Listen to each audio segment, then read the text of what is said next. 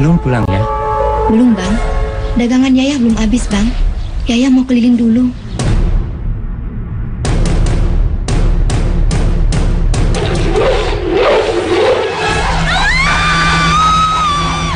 Jamu kau memang enak ya. Tapi awas. Kalau ketahuan, kau buka mulut. Laki-laki macam apa? Jangan coba-coba ya. Siapa yang berbuat?